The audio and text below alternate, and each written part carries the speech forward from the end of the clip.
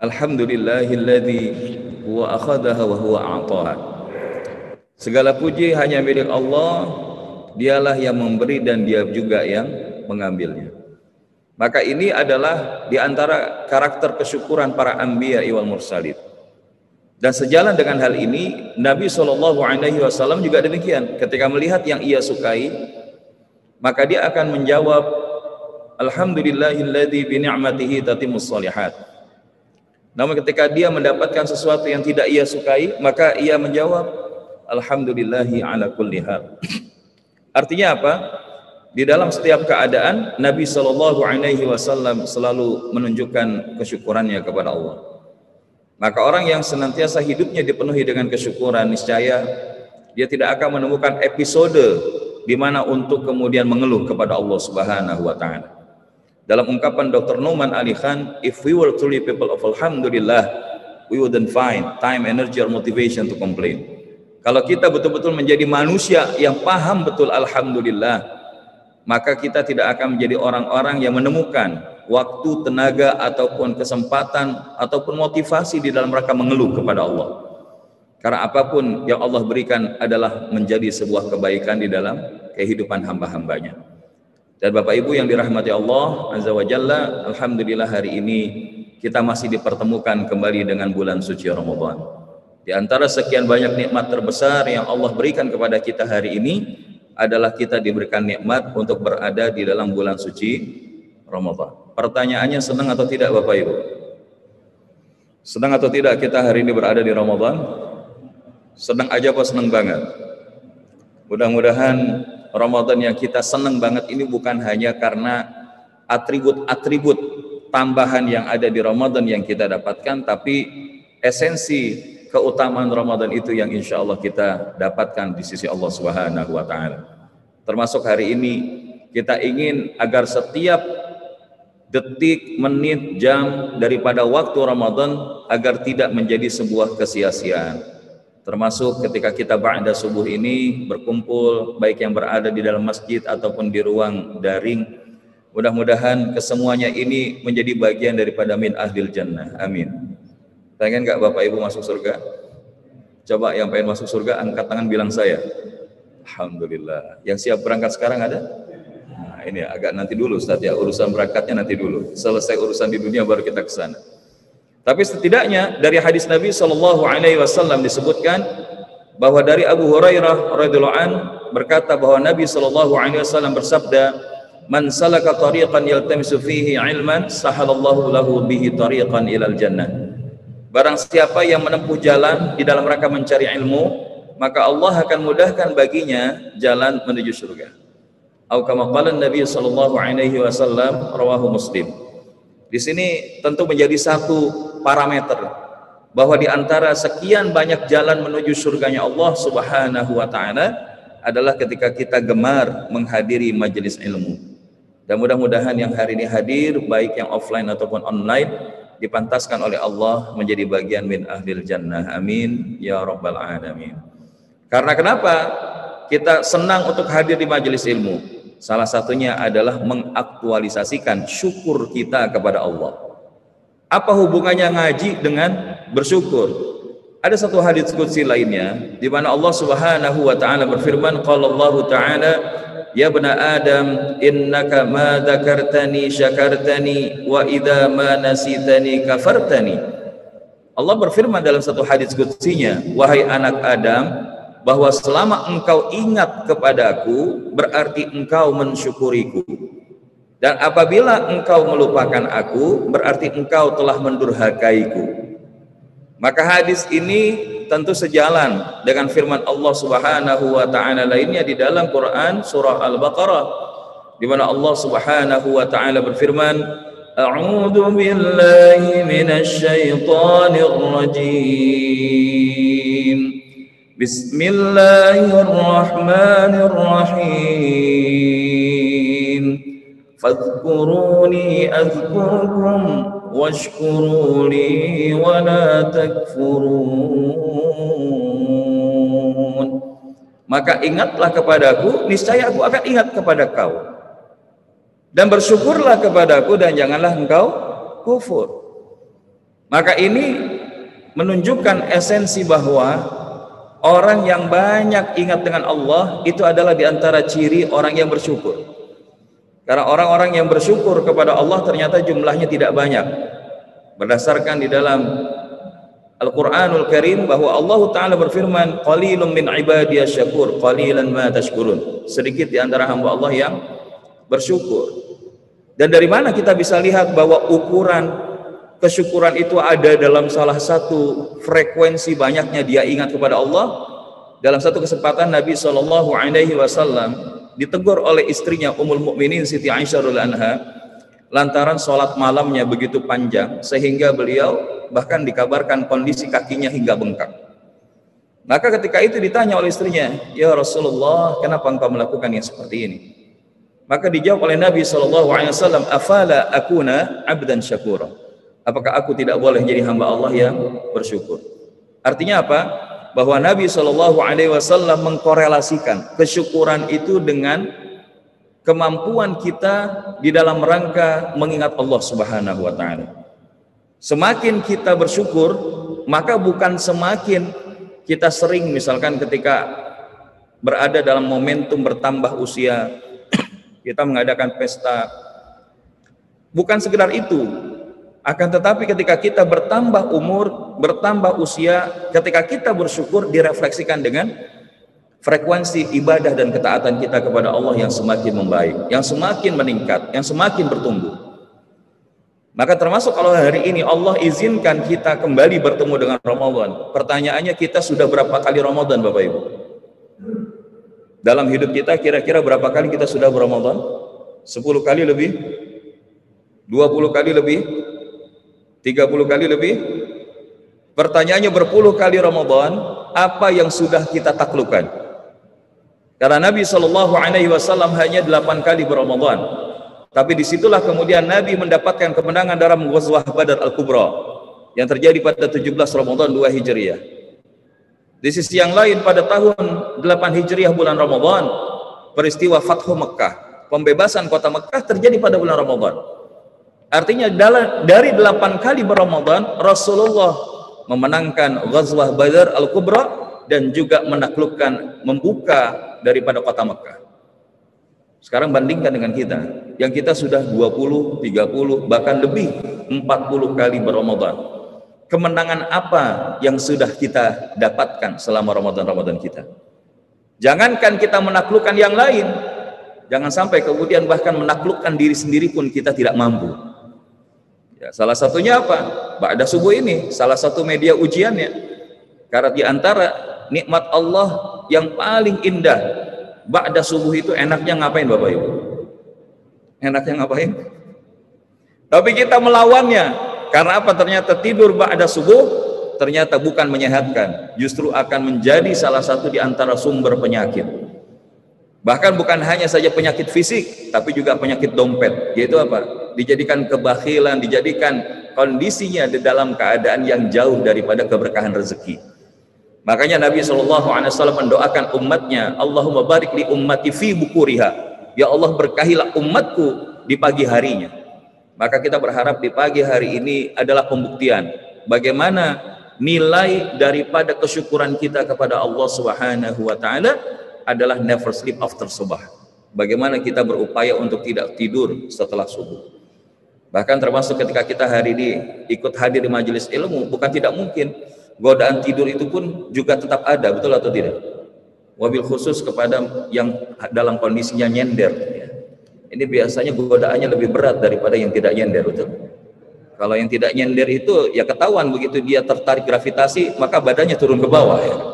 Tapi kalau yang nyender itu kelihatannya tetap melihat kepada pembicara, tapi sesungguhnya dia sudah berada dalam beberapa episode mimpi. Tapi ala kelihatan insya Allah. Kenapa hal ini kita katakan Bapak Ibu yang dirahmati Allah? Karena ternyata di dalam hidup kita ada tangga-tangga kehidupan yang kita lalui, yang kita lalui, yang kita lewati. Dan bicara tentang empat tangga kehidupan, ini adalah kaitannya bagaimana ada seseorang yang memiliki nilai kemelekatan, ketergantungan, kedekatannya kepada Allah atau kepada selain Allah. Jadi dalam konteks ingat tadi, ada yang dia berada di level pertama. Level pertama itu apa? Tangga nyasar. Ketika hidupnya itu hanya melekat pada makhluk, makhluk only.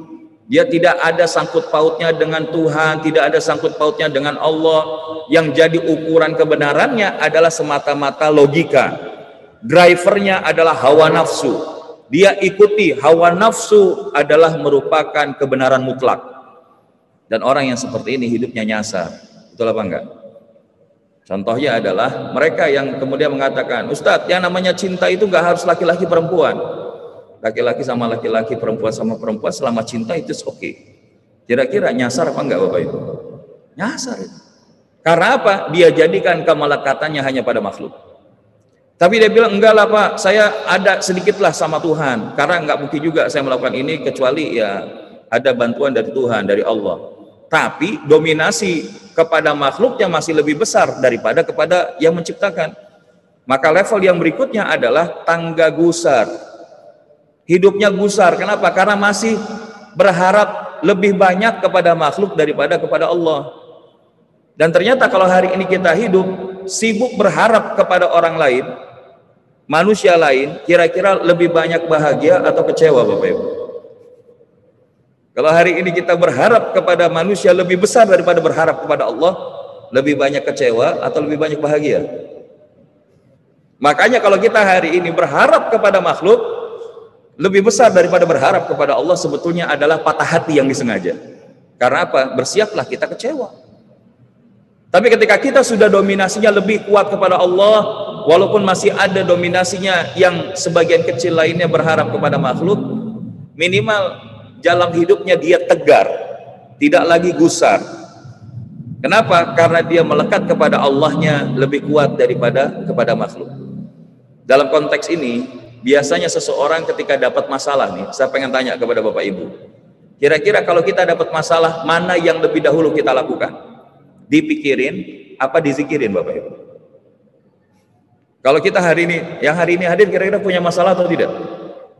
Punya masalah apa enggak Bapak Ibu? Sedikit apa banyak? Nah, ini jangan sampai kelihatannya banyak bermasalah gitu kan.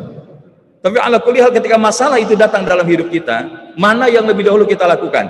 Dipikirin apa dizikirin? Karena bukan tidak mungkin kebanyakan kita dipikirin. Dan ketika dipikirin selesai nggak masalahnya? Itu yang membuat kita capek hidup ini. Itu yang membuat kita letih dalam hidup ini. Karena semuanya kita pikirin dulu.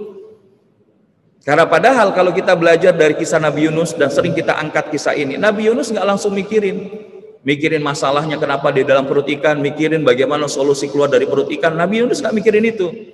Tapi yang Nabi Yunus lakukan adalah dizikirin. La ilaha illa anta subhanaka inni kuntu. Barulah kemudian Allah izinkan Nabi Yunus keluar dari kondisi yang ia hadapi tersebut. Maka orang yang kemudian ketika ada masalah, yang pertama dia lakukan adalah dizikirin, baru kemudian dengan zikir itu Allah tuntun pikirannya. Itu akan beda dari orang yang kemudian dipikirin, baru dizikirin. Kalau orang dipikirin, baru dizikirin itu namanya nyerah. Nyerah dia sudah nggak ada kemampuan apalagi baru ngadu sama Allah. Tapi kalau dia dizikirin, terus dipikirin, itu namanya tawakal. Jadi ketika dapat masalah dizikirin dulu ya Allah, Rob yang maha memberikan kita keberhasilan ataupun belum menghadirkan keberhasilan itu dalam hidup kita. Sehingga dia hidupnya nggak ngoyo. Hidupnya itu jadi nggak beban. Kenapa? Karena dia sudah menggantungkan kepada Allah lebih daripada kepada makhluk. Tapi yang lebih hebat lagi adalah ketika dia totalitas bergantungnya hanya kepada Allah, maka inilah yang disebut dengan tangga sadar. Kenapa? Karena orang ketika dia hanya melekat kepada Allah, maka dia akan berjalan terarah diperjalankan oleh Allah. Beda dengan orang nyasar. Orang nyasar berjalan gak jelas karena mengikuti hawa nafsu. Dia berputar-putar saja. Tidak beraturan. Mau ke mana dia jalan dalam hidup ini. Kalaupun dia gusar, oke okay, dia follow daripada bayangan orang lain. Jadi dia ikut Ke mana angin berhembus dia ikut, ya kan. Yang penting dia ikut orang yang menurut dia bisa memberikan kenyamanan buat dia. Tapi kalau dia kemudian setidaknya sudah punya kemelekatan kepada Allah lebih daripada kepada makhluk lain, maka dia berjalan mandiri terarah. Dan level yang paling tinggi adalah ketika dia menjadi seorang yang sadar, maka bukan hanya berjalannya itu terarah, tapi diperjalankan oleh Allah. Inilah yang kemudian Allah Ta'ala gunakan diksi bi'abdihi di dalam Quran surat Al-Isra ayat pertama.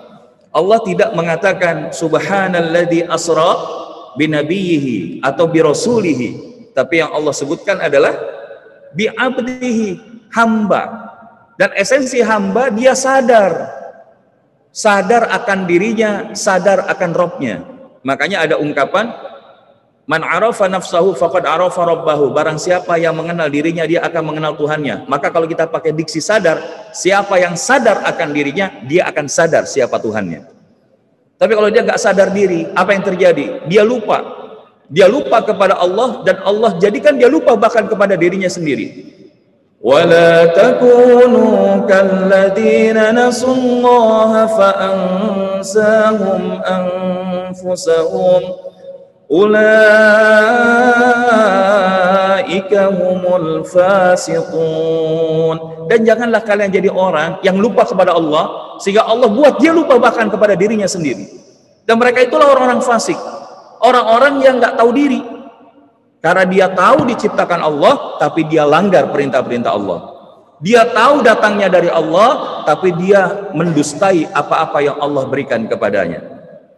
Maka oleh karena itu Bapak Ibu jamaah yang dirahmati Allah Subhanahu wa taala. Hari ini kita sadar Allah sedang memperjalankan kita kepada satu waktu yang kita nanti-nantikan. Dan inilah yang kita sebut dengan masa yang dinantikan oleh setiap hamba Allah yakni bulan Ramadan. Sebagaimana ungkapan dari Nabi sallallahu alaihi wasallam as-salawatul khams wal jumu'ah ila al jumu'ah wa ramadan ila ramadan mukaffiratun lima bainahunna idza tunibatil kaba'ir. Salat fardu yang lima waktu. Salat Jumat kepada salat Jumat berikutnya. Dari Ramadan ke Ramadan berikutnya akan menghapuskan dosa-dosa yang dilakukan di antara masa tersebut. Seandainya dosa-dosa besar dijauhkan daripada dirinya Artinya apa? Bahwa ini adalah momentum. Ramadan tahun lalu Allah izinkan kita bertemu dan Ramadan tahun ini Allah izinkan bertemu. Maka mudah-mudahan di antara waktu Ramadan-Ramadan itu menjadi waktu di mana dosa-dosa kita diampuni oleh Allah Subhanahu wa taala. Namun apakah kita cukup berhenti sampai di titik itu? Tentu tidak. Kita ingin bahwa ketika Allah hadirkan Ramadan kita bisa melakukan yang terbaik karena Allah menciptakan kematian dan kehidupan untuk menguji kalian siapa yang paling baik amalnya. Liyabluwakum ayyukum ahsanu amala. Untuk menguji kalian siapa yang paling baik amalnya. Hari ini sama-sama kita berRamadan, tapi tidak semua orang sama-sama kualitasnya di Ramadan, betul? Sama-sama kita puasa, tapi tidak semua sama kualitas puasanya. Sama-sama kita ngaji, tapi juga tidak sama kualitas implementasi dari ilmu yang kita dapatkan. Namun yang Allah tuntut adalah liya beluakum ayyukum ahsanu amala. Adalah bagaimana kita bisa melakukan amal yang terbaik. Dan inilah yang ingin kita wujudkan di dalam Ramadan ini. Sehingga bahasanya jangan biarkan Ramadan itu hadir di dalam kehidupan kita tanpa semangat sehingga tema yang kita ambil pada kesempatan pagi hari ini adalah light up your Ramadan. Hidupkan, semangati Ramadanmu itu hari ini. Karena kita tidak bisa menjamin apakah kita akan dipertemukan kembali dengan Ramadan-Ramadan berikutnya. Dan untuk itu, bagaimana agar kemudian kita bisa menghidupkan Ramadan kita itu dengan baik. Mudah-mudahan waktunya cukup. Insya Allah ada beberapa langkah.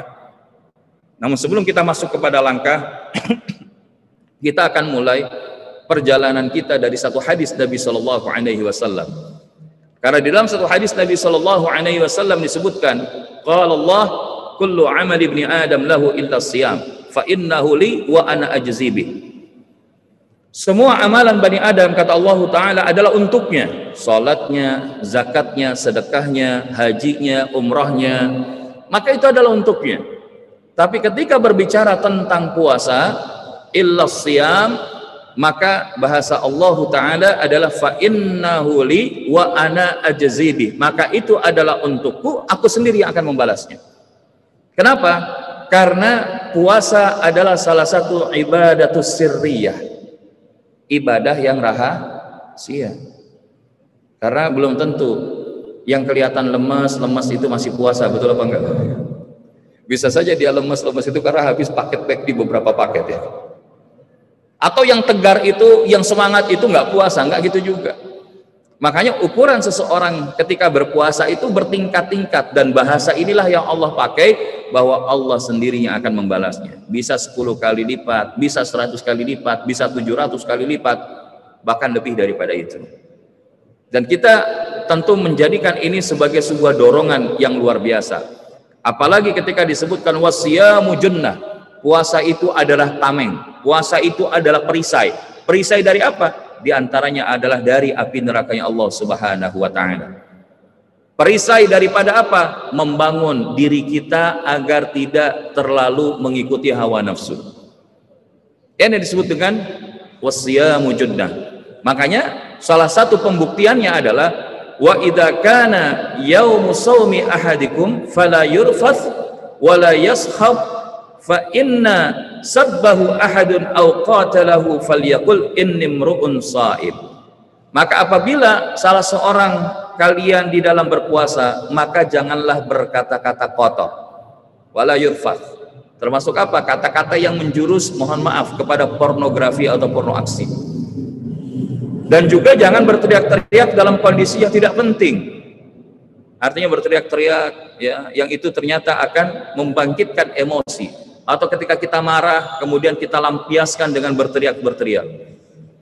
Bahkan di sini diajarkan bagaimana ketika bahkan seseorang itu ada yang mencercanya, menghinanya atau bahkan memeranginya, maka ucapkanlah kullum ra'in inni mru'un sa'id. Bahwa kemudian katakanlah dia bahwa sedang berpuasa. Dan hari ini bukan tidak mungkin menjaga yang seperti ini bukan hal yang mudah.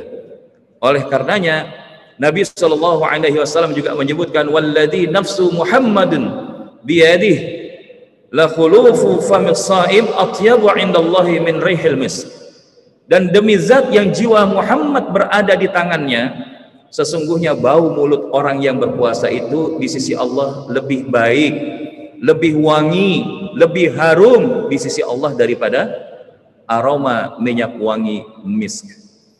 Artinya apa? Bahwa ternyata bukan tidak mungkin kita kalau lagi puasa ini aroma mulut kita umumnya kurang sedap betul ya?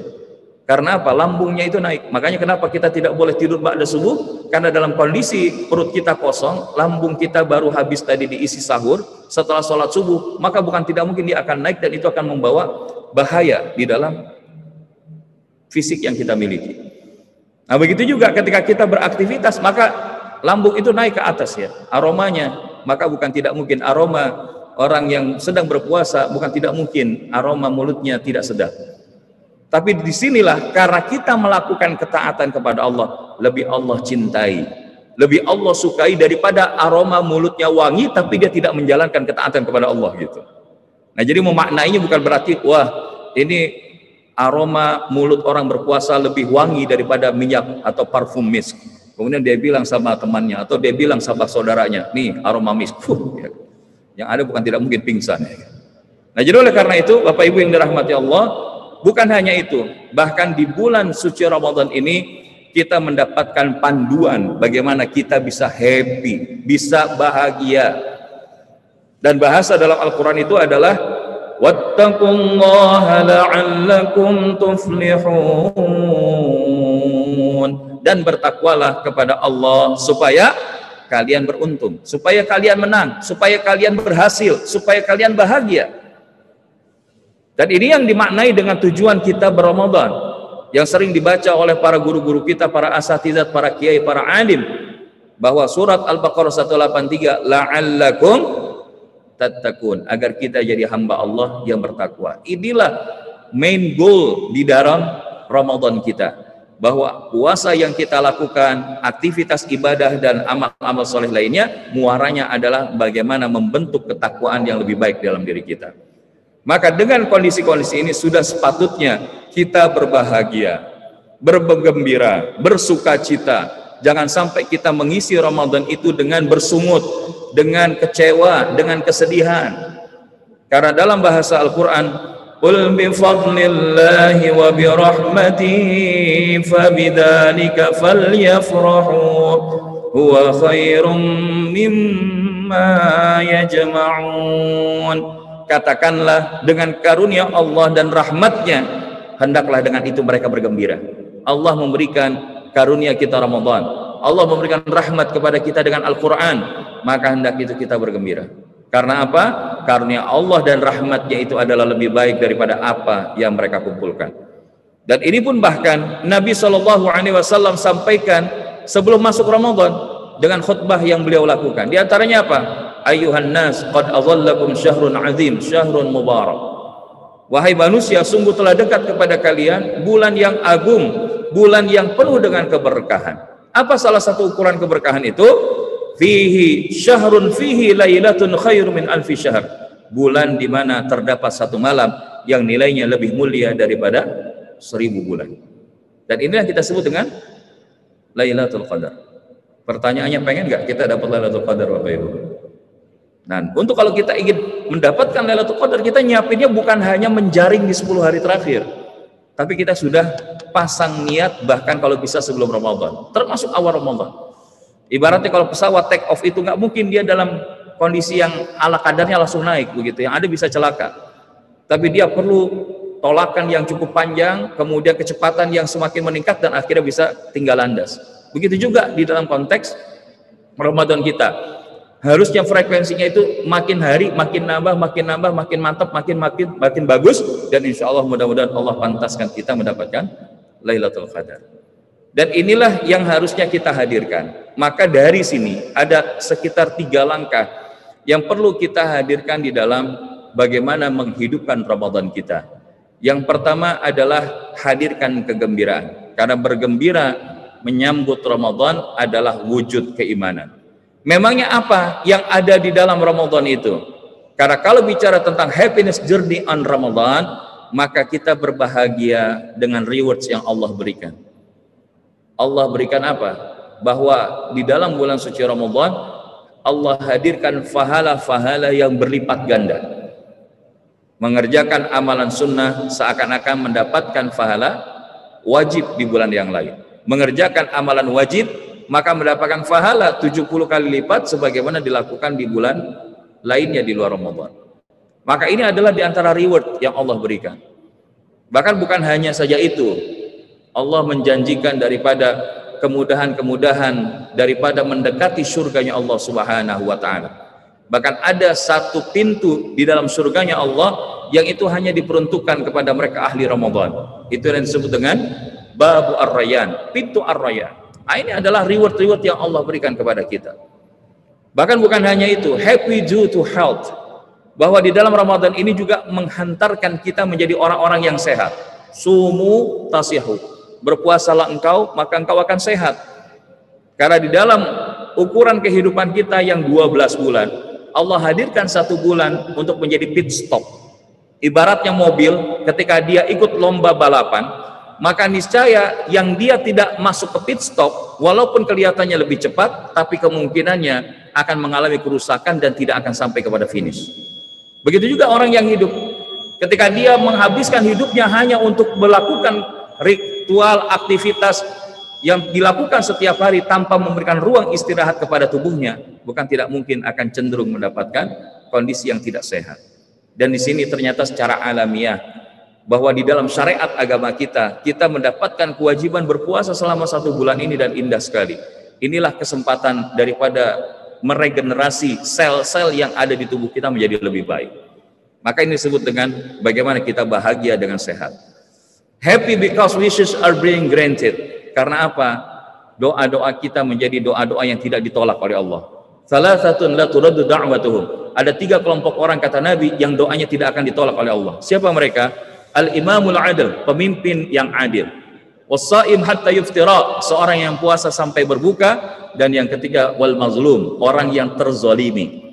Maka konteks daripada hadis riwayat Imam At-Tirmidzi ini bahwa as-saim hatta yuftira puasa sampai dia berbuka, maka jangan sampai ketika kita lagi puasa keluar kata-kata negatif. Walaupun itu hanya berupa keinginan, wishes. Maka upayakan afirmasinya positif terus. Kalau badan kita sedang mengalami sedikit kondisi yang tidak nyaman, kita bilang Alhamdulillah, insya Allah anakul lihal, kondisi tubuh kita akan semakin sehat. Makanya ada salah satu diksi yang dipakai oleh salah satu sahabat sekaligus guru kami. Kalau ditanya, gimana Kang kabarnya? Alhamdulillah semakin baik dan semakin sehat. Dan ini ternyata dalam konteks ilmu NLP, kata semakin semakin itu akan menjadi anchor yang akan mendorong kepada hal-hal positif dalam tubuh kita. Maka ketika misalkan saya tanya bagaimana kabarnya Bapak Ibu, Alhamdulillah semakin sehat, semakin lancar, semakin berkah. Menggunakan kata semakin. Itu adalah salah satu apa? Wishes. Kita doa kepada Allah. Dan kita awali tadi dengan lafaz hamdalah. Dan yang berikutnya adalah happiness for freedom. Karena di dalam bulan Ramadan ini Allah membebaskan banyak hamba-hambanya daripada api nerakanya Allah Subhanahu wa taala. Dan masih banyak lagi keutamaan-keutamaan Ramadan yang insya Allah akan disampaikan guru-guru kita yang lain. Bahwa Ramadan bulan diturunkannya Al-Quran, pintu surga dibuka, pintu neraka ditutup, setan dibelenggu. Ada malam yang punya kemuliaan dan keberkahan lebih daripada seribu bulan. Dan adalah waktu di mana doa-doa kita tidak akan ditolak. Dan ini semua adalah menjadi dorongan semangat menghidupkan Ramadan kita dengan amalan-amalan terbaik. Bahkan kalau perlu kita punya target-target yang lebih daripada Ramadan tahun lalu. Contoh, kalau Ramadan tahun lalu misalkan dalam urusan baca Quran kita, kira-kira Ramadan tahun lalu kita khatam berapa kali Bapak Ibu? Khatam berapa kali? Nah, ini kelihatan tawaduk semua ini. Ya, ini antara satu atau dua lah gitu Ustaz ya. Cuma saya nggak pengen teriak karena yang lain mungkin ada yang lebih banyak ya. Nah sekarang bertanya, oke okay lah tahun lalu kita cuma bisa satu atau dua kali. Targetnya tahun ini berapa kali? Ini harus kita bangun. Ya, ini harus kita bangun. Karena apa? Kita bandingkan dengan orang-orang sebelum kita, masya Allah. Ya, kalau dalam urusan kebaikan boleh bandingkan dengan orang-orang terbaik, orang-orang yang lebih baik amalnya dari kita. Tapi kalau urusan dunia, lihatlah kepada mereka yang lebih berada di bawah kita. Itu yang akan mendorong kita jadi lebih baik. Karena kalau tidak, yang terjadi apa? Bukan tidak mungkin akan menjadi perusak bahagia. Maka berhati-hatilah terhadap hal yang bisa merusak bahagia. Apa itu? Common barriers to happiness. Ada beberapa penghalang-penghalang umum yang menghalangi kita kepada bahagia. Di antaranya apa? Comparing ourselves to others. Membandingkan diri kita dengan yang lain. Ya, kita sudah punya mobil, tapi kok kita lihat teman kita mobilnya lebih mewah gitu dan akhirnya kita sibuk membandingkan kita nggak bahagia. Atau dalam urusan pokoknya dalam urusan perkara dunia lah. Teman kita sama-sama diangkat tapi kok dia sekarang ternyata jabatannya lebih tinggi dari kita. Nah itu kita capek membandingkan kayak gitu. Tapi yang dibolehkan adalah membandingkan dalam urusan kebaikan. Kalau kita hari ini misalkan bandingin apa? Wah pak saya sih satu aja udah mending. Tuh teman saya ya jangankan satu. Ya baca Quran aja enggak. Nah bukan itu bandingannya dalam urusan kebaikan bandingkanlah dengan yang lebih tinggi. Dalam urusan amal soleh bandingkan dengan yang lebih tinggi. Dan kalau kita hari ini tidak bisa berlomba-lomba di dalam melakukan, artinya tidak mungkin menang di dalam melakukan amal soleh, maka berlomba-lombalah dengan para pelaku dosa dan maksiat yang dia kemudian lebih dulu bertaubat kepada Allah. Jadi adalah sangat mungkin kalau kita hari ini membandingkannya dalam urusan kebaikan itu kepada orang yang lebih baik. Tapi dalam urusan dunia, pandanglah kepada orang yang lebih di bawah di antara kita. Karena itu akan lebih membuat kita terbangun kesyukuran. Yang kedua adalah apa yang disebut dengan being stuck in stagnation without progress. Kita terjebak di satu keadaan tanpa kemudian ada perkembangan. Tadi kita cuma satu aja, satu kali khatam di Ramadan. Padahal Allah kasih waktu kepada kita itu sangat banyak. Dan pertanyaannya, kadang-kadang di antara kita ketika tanya, berapa kali khatamnya Ramadan kemarin? Satu kali. Terus berapa kali khatam dalam satu tahun hidup Anda? Ya satu kali Ramadan itu Ustaz. Dan itu masalah, kenapa? Karena kita diberikan waktu 12 bulan, tapi kita cuma baca Quran hanya bulan Ramadan. Maka kalau yang seperti itu masih terjadi, maka ini disebut dengan being stuck in stagnation without progress. Maka hidup kita tuh harusnya berprogres Orang yang dia tetap berada di dalam kondisi stagnan amal-amalnya. Jadi yang disebut istiqomah itu bukan garis lurus Bapak Ibu.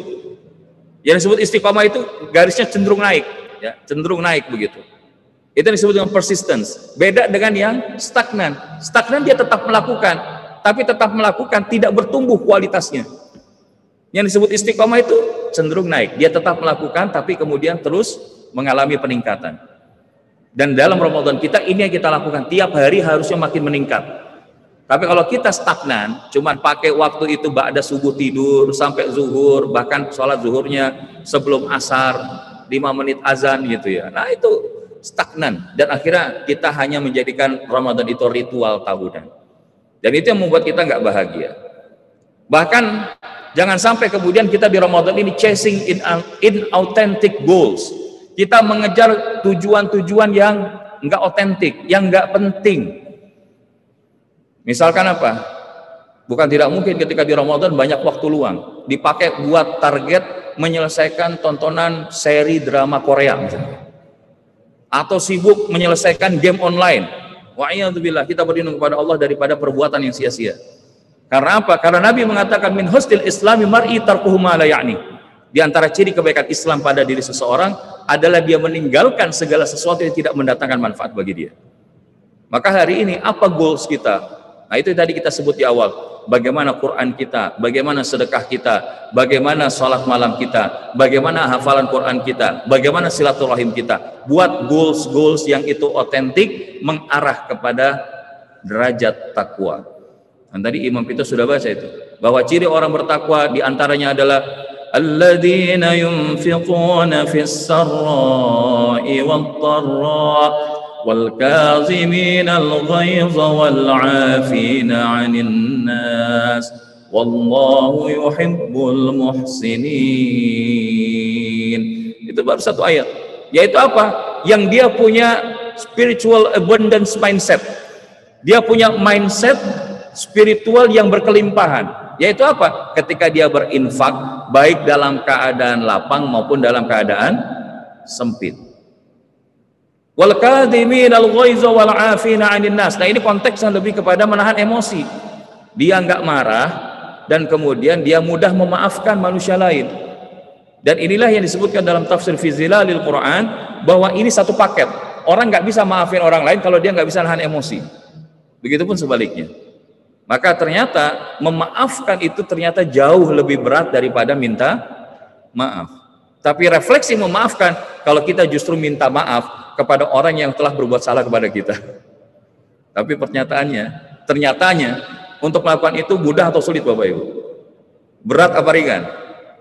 Makanya karena sulit dan berat hadiahnya jannah, surga. Tapi kalau dia mudah, ringan, bukan nggak mungkin hadiahnya kipas angin. Maka oleh karena itu Bapak Ibu yang dirahmati Allah, yang keempat adalah resisting faith. Bahwa ternyata orang yang dia hidupnya nggak bahagia karena menolak takdir, menolak ketetapan. Dan ternyata bagaimana kita bahagia itu ketika accepted, self accepted. Bagaimana kita itu bisa menerima apa pun ketetapan yang Allah berikan. Caranya gimana? Wa asa an takrahu syai'a wa huwa khairun lakum وعسى أن تحبوا شيئا وهو شر لكم dan ada yang menurut kalian baik padahal menurut Allah belum tentu baik menurut kalian tidak baik padahal bisa jadi itu yang terbaik menurut Allah orang yang semakin menolak dan tidak ridho dengan ketetapan Allah ini yang disebut dalam kondisi pain paradox semakin dia menolak maka semakin sakit dan bukan tidak mungkin hari ini kondisi COVID-19, pandemi yang belum selesai di negeri kita, dan bahkan bukan tidak mungkin masih ada saudara kita yang kemudian salah satu asbab meninggalnya mereka adalah di antaranya karena virus ini. Dan salah satunya adalah bukan tidak mungkin imunitas tubuhnya melemah lantaran dia tidak menerima. Semakin dia khawatir, makanya sekarang kita memilah informasi.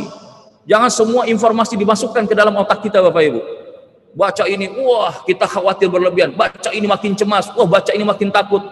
Tapi ketika kita hari ini makin baca Quran, makin baca, memahami hikmah-hikmah yang ada di dalam ajaran agama kita, insya Allah semakin tenang.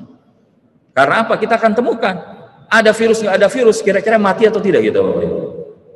Tapi sayangnya banyak di antara kita terjebak kepada satu kondisi yang kita seakan-akan menolaknya. Padahal semakin kita menerima, bukan tidak mungkin Allah akan semakin memudahkannya.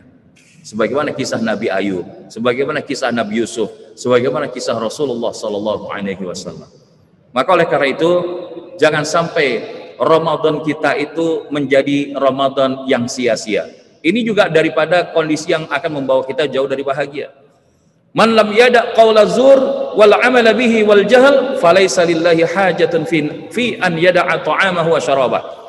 Siapa yang puasanya itu tidak meninggalkan perkataan bohong, perbuatan dusta, dan perbuatan-perbuatan bodoh, maksiat, sia-sia, maka Allah tidak butuh puasanya. Allah nggak butuh meninggalkan makan minumnya hambanya itu. Maka ini yang perlu kita jaga. Jangan sampai kemudian kita jadi orang-orang yang tidak mendapatkan apa-apa di Ramadan. Yang terakhir, maka inilah kesempatan kita. Light up your Ramadan dengan menikmati Ramadan itu dengan bahagia. Kenapa?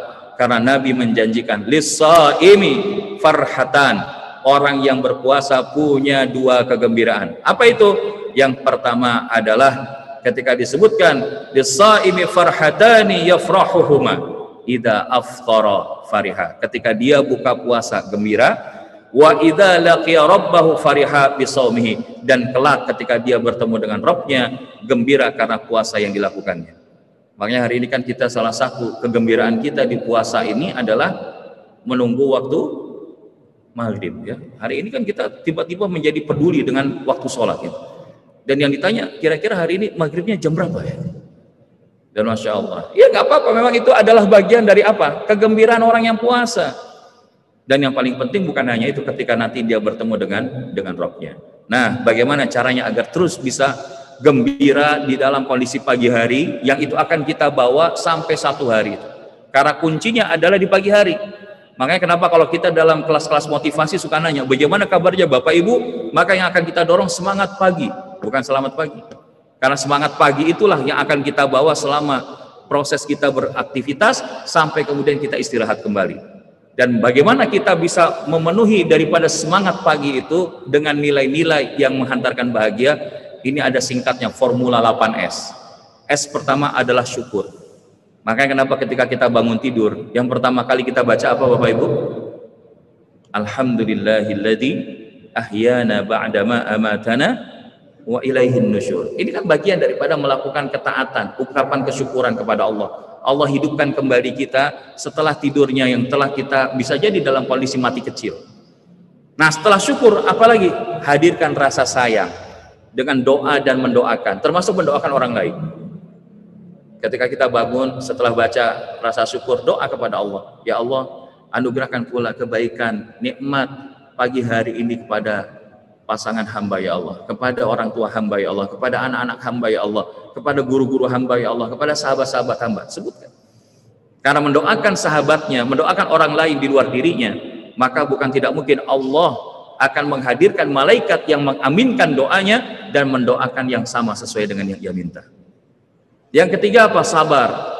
Ta'awuz. Karena kadang-kadang godaan setan itu begitu kita sudah baca doa masih berat tuh kita. Dan kenapa kita diajarkan tidak langsung buru-buru? Begitu kita kemudian bangun, ambil take your time antara 1 sampai 2 menit. Paling lama 3 menit. Untuk apa? Buat mengkondisikan tubuh dulu. Dan minimal dengan membaca ta'awuz, isti'adah. Minta pertolongan kepada Allah, minta perlindungan kepada Allah agar lepas buhul-buhul yang ada di dalam kepala kita. Karena ketika kita tidur itu diikat buhul-buhul, tiga buhul. Tapi kalau kita bangun, baca Alhamdulillah, kemudian kita berwudu, lepas wuhul kedua, dan yang ketiga adalah ketika sholat. Nah insya Allah, episode hari itu akan dilalui dengan semangat.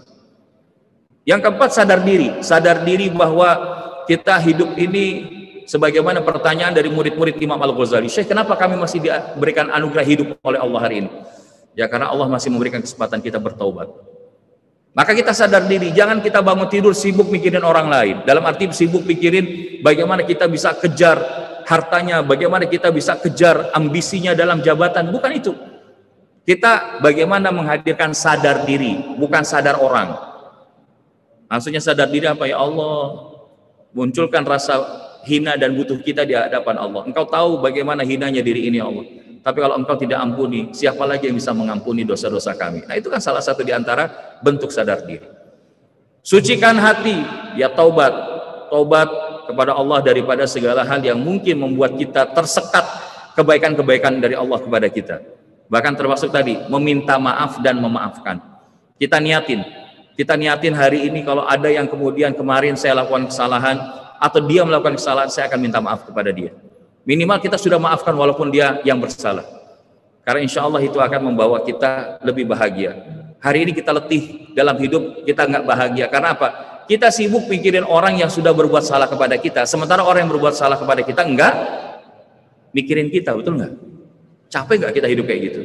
Nah oleh karena itu, bahkan salah satu kebaikan lain di pagi hari itu adalah sedekah pagi. Karena di dalam kondisi pagi hari turun malaikat yang kemudian ketika melihat seorang hambanya itu mengeluarkan sebagian hartanya di jalan Allah, maka dia katakan, Ya Allah, gantilah. Tapi orang yang nahan rezekinya untuk menginfakkan hartanya bersedekah di jalan Allah, Ya Allah, tahanlah rezekinya. Maka insya Allah kita budayakan setiap pagi hari minimal ketika selesai sholat, kita niatkan dari rumah membawa sebagian harta kita untuk kita sisihkan sebagai sedekah pagi yang didoakan oleh para malaikat. Dan ini masih banyak, ada hal-hal lain yang bisa kita lakukan, kebaikan-kebaikan lain, senyum, walaupun kita agak susah dengan masker ini ya. Kita nggak tahu di depan kita lagi senyum atau lagi merengut kan. Tapi ala kulihal, silaturahim, kegiatan kajian seperti ini, bukan tidak mungkin kita juga menyambung tali silaturahim. Kita lihat oh tetangga kita juga ikut hadir. Karena man ahabba an yubsatalahu fi rizqihi wa yunsa'alahu fi asari falyasirahimah. Siapa yang suka rezekinya dilapangkan, dan kemudian umurnya dipanjangkan hendaknya mereka silaturahim. Dan yang terakhir adalah sholat. Karena sholat ini adalah merupakan bukti tanda cinta kita kepada Allah. Dan tanda cinta itu ya dia akan melakukan bukan hanya yang wajib tapi juga menambahkan dengan yang sunnah. Maka lakukan itu di dalam episode hari kita yang kita lalui. Sebelum sholat wajib atau setelah sholat wajib yang di situ ada sunnah rawatib kita lakukan lakukan Termasuk yang kita lakukan setelah ini adalah sholat sunnah isyraq atau sholat sunnah syuruk. Mudah-mudahan ini semua menjadi kebaikan yang bisa kita hadirkan sehingga kita menghidupkan Ramadan kita dengan lebih semangat, dengan semangat yang bahagia, bukan dengan semangat yang membawa kita justru hulu berlebih-lebihan. Dan untuk itu kita perbanyak juga meminta kepada Allah Subhanahu wa taala agar kemudian kita menjadi hamba-hambanya yang diampuni, hamba-hambanya yang taubatnya diterima, hamba-hambanya yang doanya tidak ditolak oleh Allah Subhanahu wa taala. Dan mudah-mudahan pagi hari ini menjadi pagi hari Ramadan yang ke lima atau ke enam. Yang keenam mudah-mudahan Allah pantaskan kita terus dapat menyusuri Ramadan ini dengan lebih baik setiap harinya sehingga pada akhirnya Allah izinkan kita menjadi pemenang Ramadan ini dengan mendali takwa. Amin ya rabbal alamin. Sebelum kita doa, apakah ada pertanyaan? Yes. Silakan.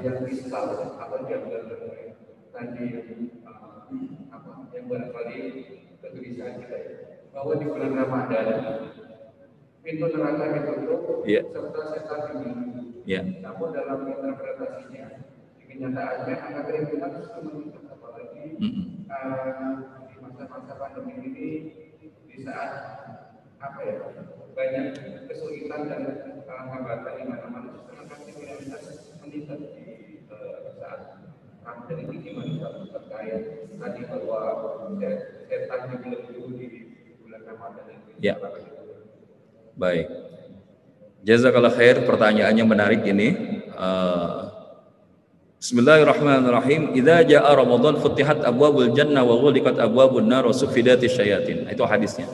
Apabila datang Ramadan, Allah buka pintu surga, ditutup pintu neraka, dan kemudian dibelenggu setan-setan.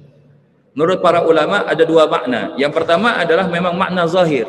Begitulah keadaannya Allah berikan kesempatan di Ramadan ini. Begitu mudah Allah hadirkan surga, ditutup jauhkan dari neraka, dan setan-setan itu ditahan. Tapi pemaknaan yang kedua adalah bahwa dengan maksud dibuka pintu surga, ditutup pintu neraka, dan dibelenggu setan, adalah Allah memudahkan kepada kita di dalam rangka melakukan kebaikan-kebaikan, perbuatan-perbuatan amal soleh yang ini akan sangat mudah mendekatkan kita menjadi min ahli jannah. Dan karena potensi kebaikan-kebaikan yang dilakukan seseorang di Ramadan itu meningkat, maka sebaliknya peluang untuk melakukan keburukan-keburukan, kerusakan-kerusakan juga semakin berkurang. Peluangnya semakin mengecil, bukan berarti hilang, peluangnya semakin mengecil untuk melakukan keburukan. Dan ketika peluangnya semakin mengecil itu yang dikatakan sebagai tertutupnya pintu neraka itu menjadi peluang yang akan kita dapatkan. Dan pada saat kita berpuasa, kita sedang menahan daripada ya hawa nafsu yang ada di dalam tubuh kita. Yang bukan tidak mungkin itu akan mempengaruhi aliran darah yang ada di dalam tubuh kita. Dan setan itu adalah sejalan dengan aliran tubuh kita. Dan salah satu pintu menahan setan itu dengan berpuasa. Makanya kenapa para ulama selain daripada Ramadan dia akan memperbanyak puasa karena itu adalah salah satu jalan untuk mengekang hawa nafsu yang dihembuskan oleh setan. Nah, pertanyaannya, kenapa? Kalaupun kemudian kita sudah memahami itu, kok peluang kriminalitas makin naik? Nah, kalau di sini salah satu jawabannya adalah karena mereka yang hari ini di Ramadan masih melakukan perbuatan-perbuatan jahat, kriminal, karena dia sudah tersertifikasi. Sertifikasi dari mana? Dari syaitan. Certificate of Syaitan. Kenapa? Karena 11 bulan dia cenderung melakukan keburukan-keburukan itu. Sehingga pada saat Ramadan pun tanpa syaitan dia sudah terbiasa melakukan itu. Loh, tapi kan bahkan bisa jadi dia itu sholat, bisa jadi dia orang yang baik, tapi kok bisa melakukan keburukan? Nah, kalau yang itu sekali lagi dia akan sesuai dengan apa yang dia lakukan. Makanya kalau kita ingin tahu karakter seseorang sebenarnya, salah satunya adalah berikan dia jabatan, berikan dia uang, berikan dia kesulitan. Maka itu kelihatan karakter orang yang sebenarnya.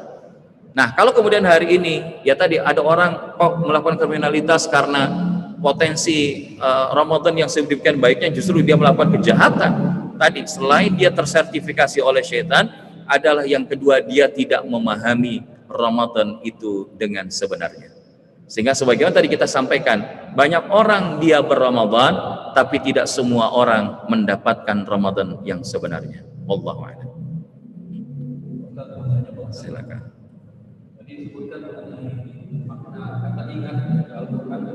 Ya. Ya. kata ingat ini maknanya apakah dalam arti seluas-luasnya ya. atau yang dimaksud dengan ingat ini yang beribadah. Ya.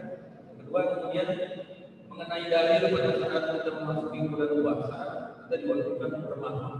Iya. Saya lupa itu aja Iya. Bismillahirrahmanirrahim. Ingat dalam konteks ini artinya adalah berzikir kepada Allah. Ya, jadi ingat itu ya ketika kita berzikir maknanya adalah mengingat Allah. Dan ala bizikrillah tatmainnul qulub. Ingatlah dengan mengingat Allah hati kita jadi tenang. Karena dalam hati kita, dalam ungkapan Syekh Ibnu Qayyim Al-Jauziyah ada sobekan. Yang itu tidak bisa ditutupi dengan harta kita, kemewahan mobil kita, ataupun pangkat jabatan, kecuali hanya bisa ditutupi dengan ingat kepada Allah. Artinya orang yang dia ingat dalam konteks kesyukuran di sini artinya ketika dia melakukan aktivitas zikrullah. Dan dia bahkan mengingat Allah dengan ya tadi zikrullah kan ada ragamnya. Ada zikrul lisan, ada zikrul qalb, ada zikrul fikr. Ya, ada zikir fikiran, ada zikir lisan, ada zikrul hati kita, ada zikrul amal. Salah satunya yang kita lakukan seperti ini adalah bagian dari mengingat Allah. Fadzakir wa inna zikra tanfa'ul mu'minin. Maka ingatlah, berikanlah peringatan karena sesungguhnya peringatan itu hanya akan bermanfaat bagi orang yang beriman. Jadi orang yang merasakan manfaat ketika hadir di majelis zikir itu adalah tanda dia insya Allah punya keimanan dan efek efek dari keimanan itu adalah hadirnya kebersyukuran yang total di dalam hidupnya.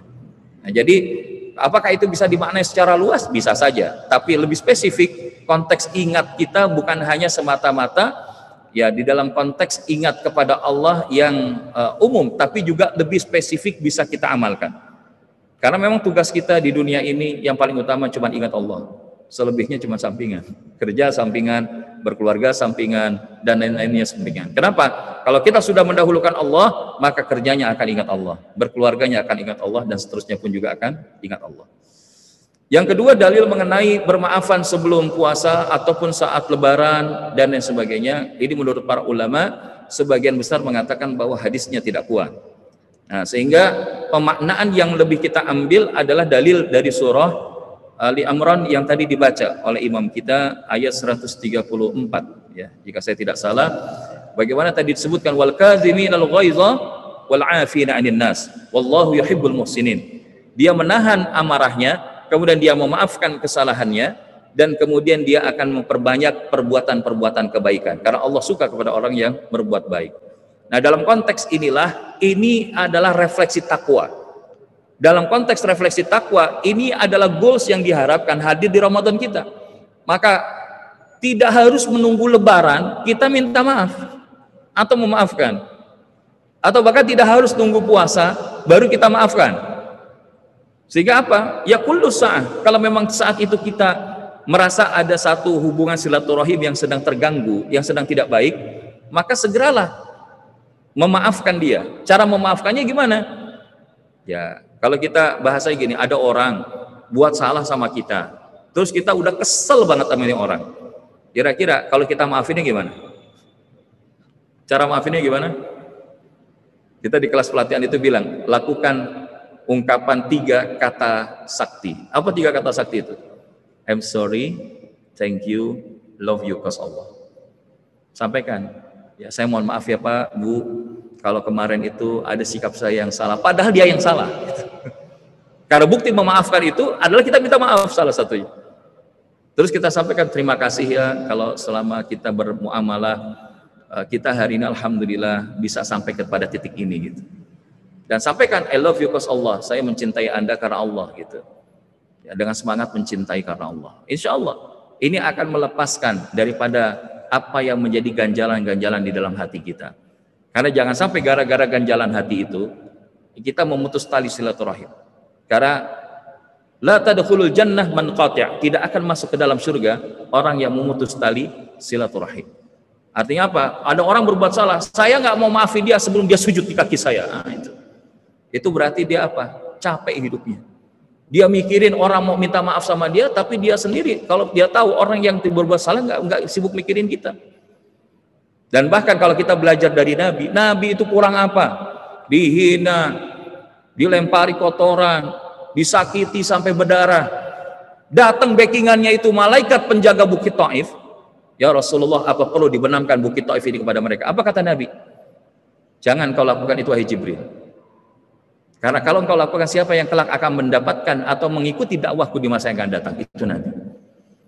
Bahkan Nabi mendoakan Allah maghfir liqaumi fa innahum la ya'lamun. Ya Allah maafkan kaumku karena mereka tidak tahu.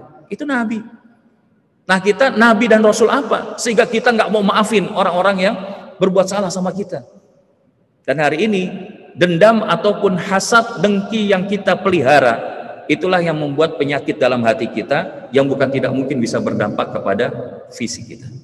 Tapi sebaliknya ketika kita merilis, melepaskan dengan memaafkan, maka itu akan melapangkan hati kita menghadirkan imunitas yang lebih baik dalam tubuh kita dan insya Allah kita akan sehat. Wallahu a'lam. Mudah-mudahan bisa menjawab Pak. Baik. Silakan. Kita catat dari Ibu di Yanexin. Ya. ya. Izin bertanya Ustaz, apakah ada tanda atau ciri-ciri orang yang telah mendapatkan keistimewaan malam Lailatul Qadar? Afwan. Yang pertama, ya kita biasanya kajian Lailatul Qadar itu disampaikan di Asyarul Awakhir, ya, di 10 hari terakhir. Karena memang berdasarkan hadis Nabi, carilah itu di malam-malam ganjil di 10 hari yang terakhir. Namun apakah indikator atau pertanda seseorang dapetin Lailatul Qadar? Ada yang bilang, wah Ustadz saya mendapatkan fenomena alam seakan-akan bumi berhenti. Hening, kemudian saya sedang berjalan ke langit ketujuh. Nah, itu hati-hati ya kan. Ya, karena bukan itu. Karena yang pertama ciri seseorang dapat Lailatul Qadar adalah al-itmi'nan. Dia merasakan ketenangan hatinya saat dia berzikir, saat dia mengingat Allah tadi. Hadir ketenangan hatinya. Kemudian muncul rasa apa? Khusyuk. Dia merasakan al-khasyah, ketakutannya kepada Allah dalam hal apa? Dalam hal apa yang ia lakukan dalam hidupnya sehingga dia akan hadir al-hijrah. Hijrah itu apa? Dia akan melakukan kebaikan-kebaikan sepeninggal daripada momentum Lailatul Qadar yang ia dapatkan. Sehingga ciri orang yang dapat Lailatul Qadar menurut para ulama terlihat setelah Ramadannya amal ibadahnya, ketaatannya semakin lebih baik. Termasuk perilaku-perilakunya jauh lebih baik. Kalau sebelum Ramadan mungkin pemarah, setelah Ramadan dia menjadi seseorang yang sangat santun. Sebelum Ramadan bakhil, setelah Ramadan dia sangat dermawan. Itu di antara tandanya. Mirip-mirip sebagaimana orang dapat kemabruran dalam haji. Orang mabrur dalam haji itu adalah terlihat dalam perilaku akhlaknya yang lebih baik sepulang dia melaksanakan ibadah haji. Nah, begitu juga orang yang dapetin Lailatul Qadar yang paling sederhana adalah bagaimana kemudian terlihat daripada perilakunya, daripada aktivitas ibadahnya, ketaatannya, kedekatannya kepada Allah dan kegemarannya melakukan kebaikan mengalami peningkatan yang terus bertumbuh. Sehingga insya Allah mudah-mudahan kita dipantaskan oleh Allah menjadi bagian daripada ahli Lailatul Qadar. Amin ya rabbal alamin. Wallahu a'lam. Baik, rasanya cukup ya. Sudah tiga pertanyaan. Mudah-mudahan ada manfaatnya. Kita berdoa kepada Allah. Mudah-mudahan Allah memantaskan pertemuan hari ini menjadi pertemuan yang Allah selamatkan, yang Allah rahmati dan Allah berkahi. Ala hadhihi niyah wa salihah al-Fatihah. بسم الله الرحمن الرحيم. الحمد لله رب العالمين. مالك يوم الدين إياك نعبد وإياك نستعين. اهدنا الصراط المستقيم الصراط الذين أنعمت عليهم غير المغضوب عليهم ولا الضالين. اللهم صل وسلم على سيدنا محمد وعلى آله وصحبه وبارك وسلم. أعوذ بالله من الشيطان الرجيم. بسم الله الرحمن الرحيم. الحمد لله رب العالمين. اللهم اجعل جمعنا هذا جمعا مرغوما وتفرقنا من بعده تفرقا معصوما. Ya Allah ya Rahman ya Rahim. Jadikanlah pertemuan kami hari ini pertemuan yang penuh barokah dan manfaat. Jadikanlah perpisahan kami perpisahan yang lepas dari segala dosa dan maksiat. Jangan kau keraskan hati kami ya Allah dengan ujub ria takabur sombong semua. ya Rabbana. Lembutkan hati kami dengan syukur sabar tawadu ikhlas terhadap apa yang kau karuniakan di dalam hidup kami ya Allah. Allahumma gfir li khati'ati wa jahli wa israfi fi amri wa ma anta a'lamu bihi minni. Ya Allah ampunilah kesalahan hamba ya Allah kejahilan hamba sikap hamba yang melampaui batas dalam urusan hamba. Dan segala hal yang kau lebih tahu hal itu daripada diri hamba ya Allah Wa hazli wa khata'i wa amdi wa kullu dhalika indi. Ya Allah ampunilah hamba ya Allah kesalahan yang diperbuat saat serius ataupun saat bercanda ya Allah dan ampunilah pula kesalahan hamba saat hamba tidak sengaja ataupun sengaja. Ampunilah segala kesalahan yang hamba lakukan ya Rahman ya Rahim. Karena sekiranya engkau tidak mengampuni dosa kami kepada siapa lagi kami akan bermunajat ya Allah? Allahumma ya Rabbana ya Dzal Jalal wal Ikram a'inna ala dzikrika wa syukrika wa husni ibadatik temani kami ya Allah di dalam rangka mengingatmu ya Allah di dalam rangka beribadah kepadamu ya Allah dan memperbaiki daripada ibadah-ibadah kami kepadamu ya Allah. Jadikan Ramadan ini Ramadan yang lebih baik daripada Ramadan sebelumnya yang mujibah sa'idin. Engkau pantaskan dan engkau kuatkan kami dalam puasa-puasa kami ya Allah. Salat kami, salat malam kami, dalam aktivitas sedekah, infak, zakat dan wakaf kami ya Allah dan kebaikan-kebaikan lainnya membaca Al-Qur'an, menghafalkan Qur'an, mengamalkan Qur'an, mendakwahkan Qur'an ya rabbal alamin. Allahumma ya Rabbana hadirkan cahaya Ramadan di dalam rumah tangga kami, di dalam negeri kami hingga kepada saudara-saudara kami di luar dari negeri ini ya Rabbal Alamin. Angkat pandemi ini dengan segera ya Allah, karena semuanya Engkau Rabb yang maha memberikan kebaikan lagi memenuhi segala permintaan. Allahumma inna na'udhu bika minal baras wal junun wal juzam min sayyil asqam. Anugerahkanlah ya Allah afina fi abdanina wa afina fi asma'ina wa afina fi absarina. Kesehatan afiat kepada badan kami ya Allah, kepada pendengaran kami ya Allah, kepada penglihatan kami ya Allah.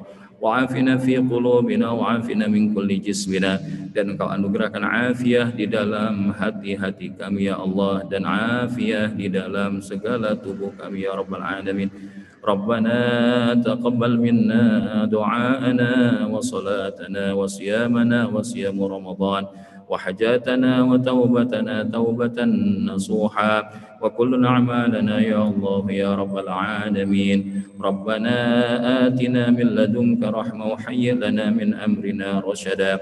ربنا آتنا في الدنيا حسنة وفي الآخرة حسنة وقنا عذاب النار.